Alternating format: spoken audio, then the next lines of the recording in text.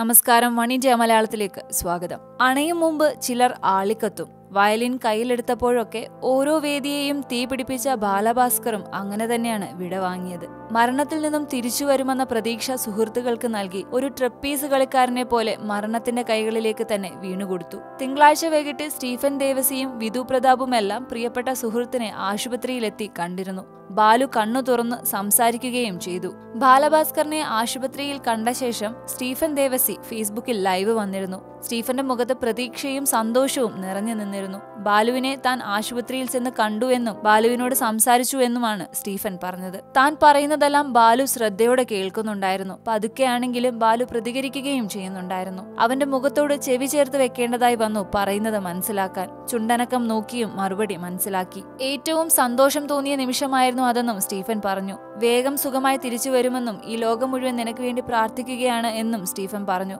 നമ്മൾ ഒരുമിച്ച് വീണ്ടും പരിപാടി അവതരിപ്പിക്കുമെന്നും യാത്രകൾ ചെയ്യുമെന്നും സ്റ്റീഫൻ പറഞ്ഞു. എത്രയും പെട്ടെന്ന് അത് സംഭവിക്കട്ടെ എന്ന് പറഞ്ഞാണ് ലൈവ് അവസാനിക്കുന്നത്. എന്നാൽ സുഹൃത്തുക്കളുടെ സന്തോഷത്തിനും പ്രതീക്ഷയ്ക്കുമൊക്കെ മണിക്കൂറുകളുടെ ആയുസ് മാത്രമാണ് ഉണ്ടായിരുന്നത്. ഇത്രയും വേദനിപ്പിച്ച ഒരു മരണം ജീവിതത്തിൽ ഇന്നേ വരെ ഉണ്ടായിട്ടില്ലെന്ന് ഗായികയായ രാജലക്ഷ്മി പറയുന്നു. വിങ്ങിപ്പൊട്ടാതെ ബാലുവിന്റെ പേര് പറയാനാകുന്നില്ല രാജലക്ഷ്മിക്ക്. സ്റ്റീഫൻ ദേവസി ബാലുവിന്റെ മുറിയിൽ കയറി ഇരുപത് മിനിറ്റോളം സംസാരിച്ചു. നമുക്ക് വീണ്ടും സ്റ്റേജിലേക്ക് തിരിച്ചു വരണ്ടേ? എന്ന് സ്റ്റീഫൻ ചോദിച്ചപ്പോൾ വേണം എന്ന് പതുക്കെ ബാലു മറുപടി പറഞ്ഞു. അതുകൊണ്ട് തന്നെ തങ്ങൾക്കെല്ലാം വലിയ ആശ്വാസമായി എന്നും രാജലക്ഷ്മി പറഞ്ഞു. വൈകിട്ട് ബാലുവിന് ബോധം വീണതോടെ എല്ലാവരും മടങ്ങിയത് സന്തോഷത്തോടെയായിരുന്നു.